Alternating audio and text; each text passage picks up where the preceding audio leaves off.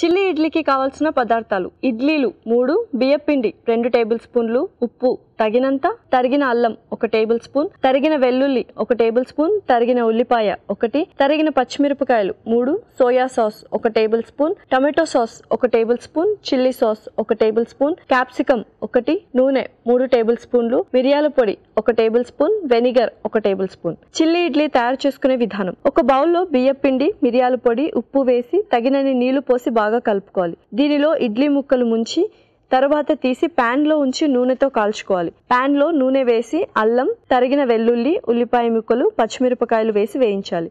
దీనిలో క్యాప్సికం ముక్కలు vinegar soya sauce chilli sauce tomato sauce మిరియాల పొడి తగినంత ఉప్పు వేసి వేగనివ్వాలి.